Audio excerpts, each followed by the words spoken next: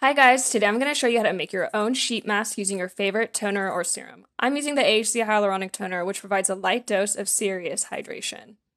I got these compressed sheet mask sheets from Muji, but you could also get them on Amazon or Daiso.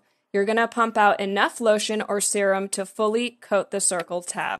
Watch it absorb all that skincare goodness and see it expand. If you're using a serum, make sure it's not too thick so the cotton sheet can absorb it all. Make sure you use a generous amount. Most sheet masks come with about 20 to 30 milliliters of liquid. Now it's fully absorbed and we can unfold the sheet mask. If you're having trouble unfolding, just add more lotion or serum. Put the sheet mask on your face and adjust to fit accordingly.